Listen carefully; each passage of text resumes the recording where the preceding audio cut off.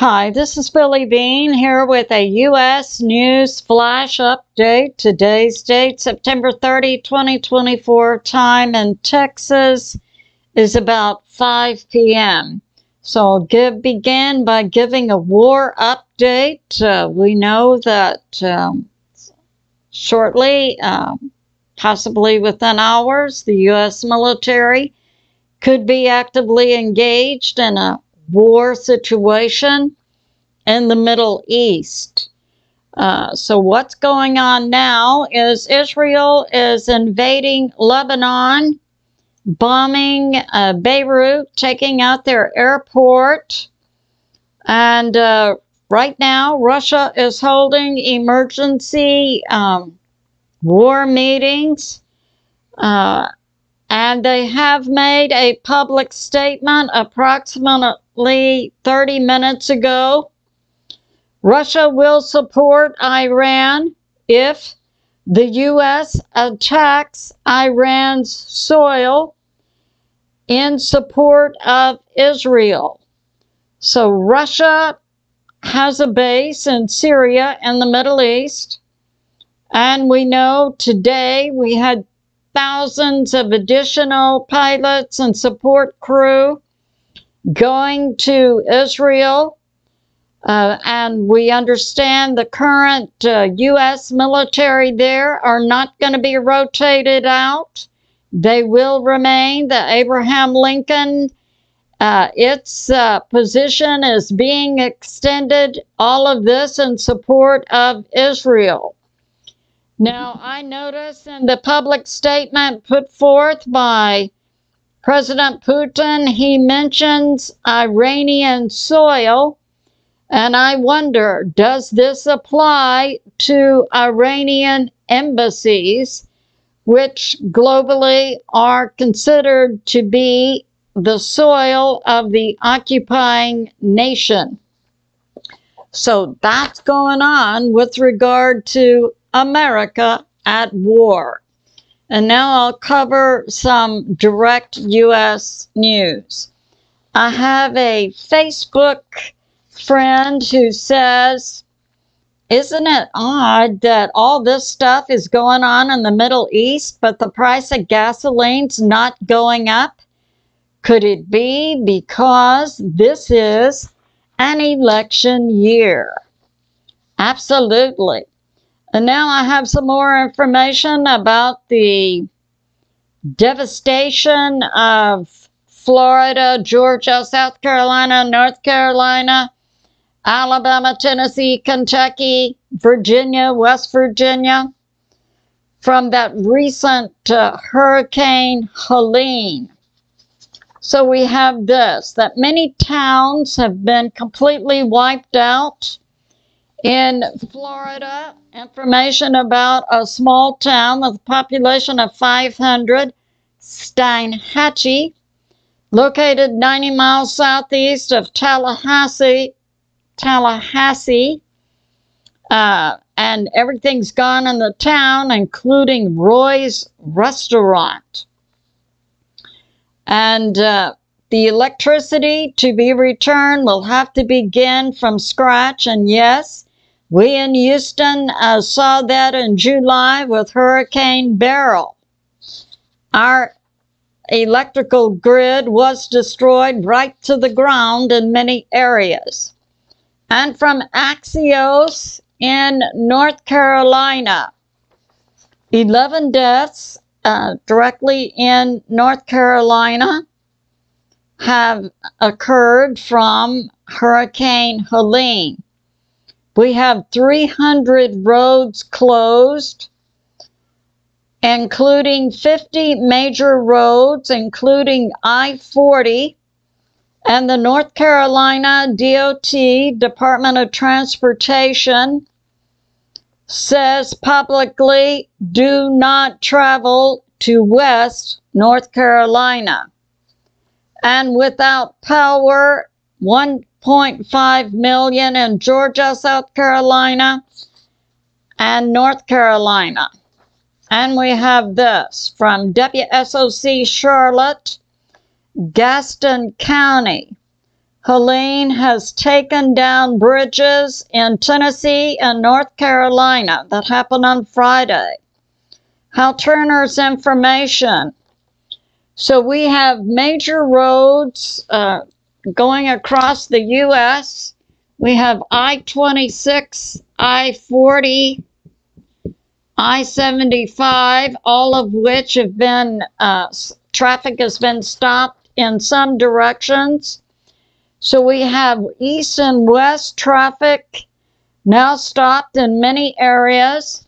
We know also that 36 ports, uh, the longshoremen strike is going to take out all the ports uh, along the east coast and also along the Gulf Coast.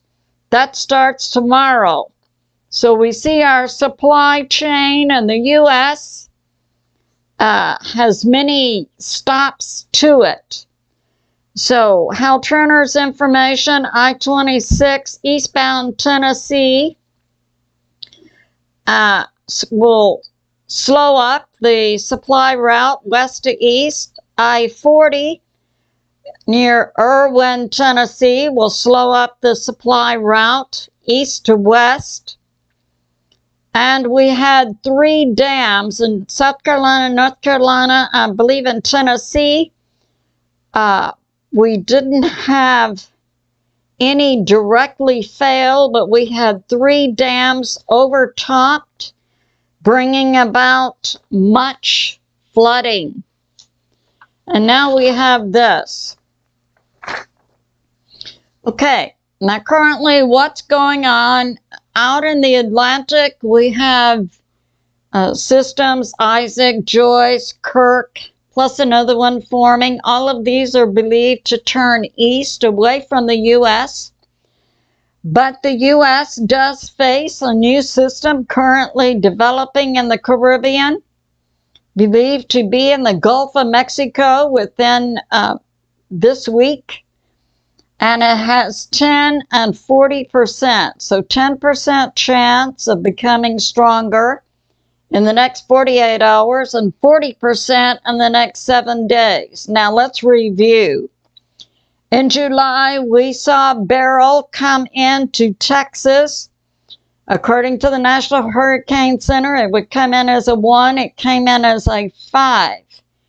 We just saw Helene go into Florida and Georgia, North, South Carolina, North Carolina, supposedly to come in as a two or possibly a three, came in as a four and had erratic behavior for a hurricane in that instead of slowing down and dissipating, it maintained its hurricane integrity and sped up. I submit to you that the possibility that Beryl and Helene were both juiced up. So, we need to be keeping our eye on this new system that will be in the Gulf of Mexico this week. So that's going on. And now we have this. Daboo 77, yes. In Conyers, Georgia, and this happened yesterday, a biolab uh, allegedly that produces chlorine-based products for pools and spas, but called a biolab, caught on fire in Conyers. And at that time, they evacuated certain areas and uh, they closed one freeway, according to Forbes. Uh, I 20 was closed in all directions for up to five miles. And uh, they gave a shelter in place order for people within a certain diameter of the uh, plant. And now, shelter in place means you turn off your air conditioning and close all windows and doors. Well, that happened on Sunday. Today, Daily Mail is reporting The shelter in place order is indefinite. Now, how long can people stay in their homes in heat and humidity without air conditioning?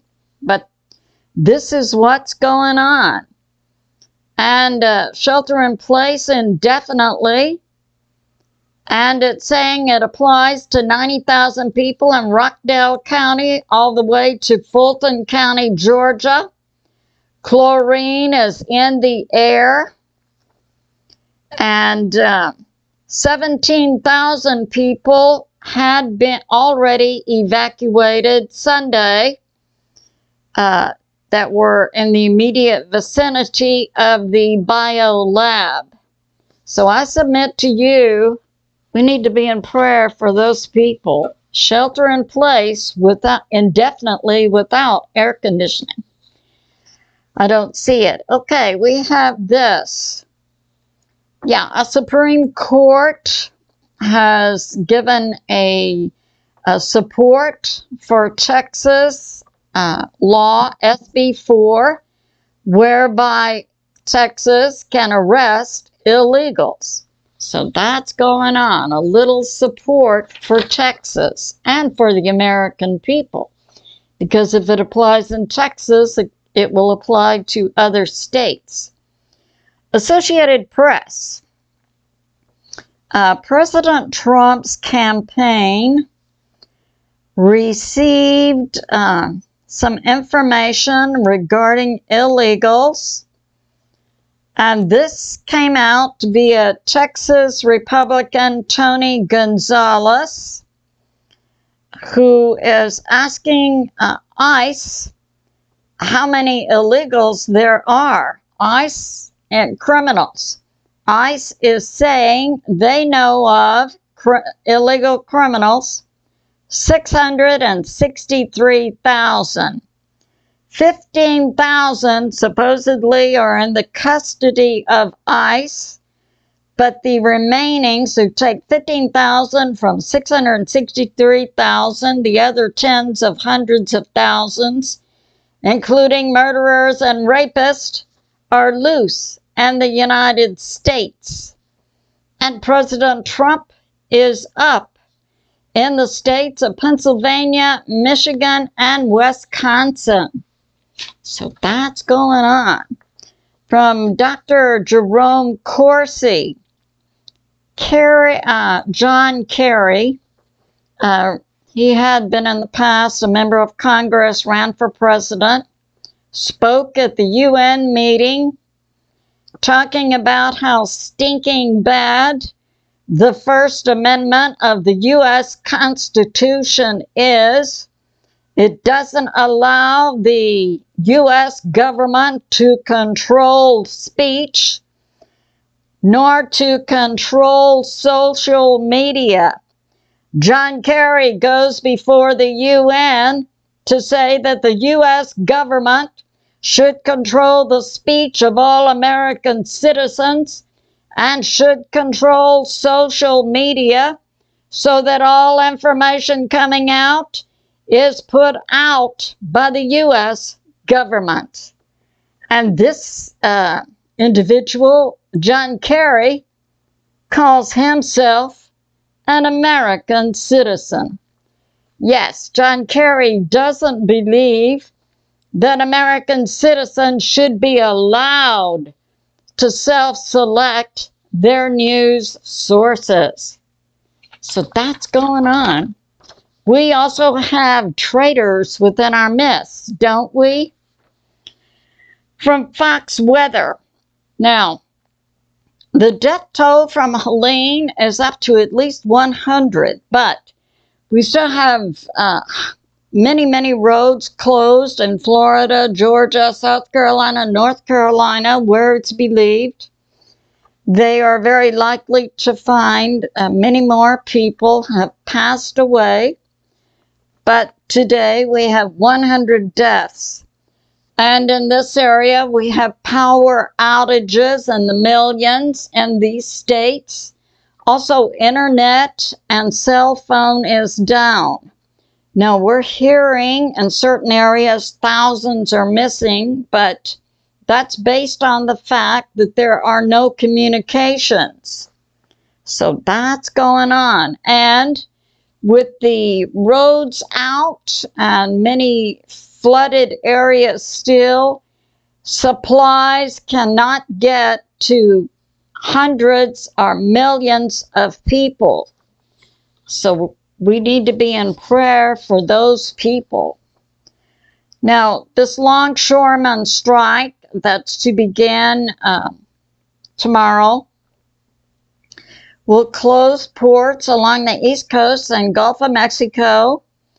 Primarily, it will stop Christmas shipments like Christmas trees and also um, the sale of toys. Now, I know from uh, my economics background that uh, a majority of retail stores in the U.S.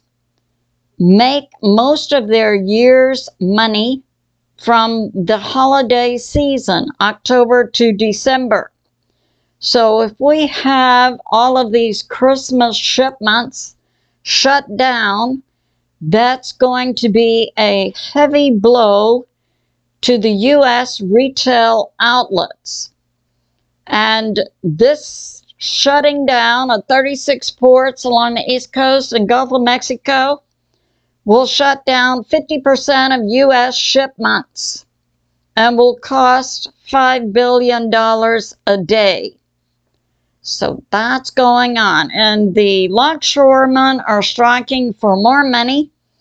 Also, uh, different methods of automating the ports. So that's going on. And this will be their first strike since 1977.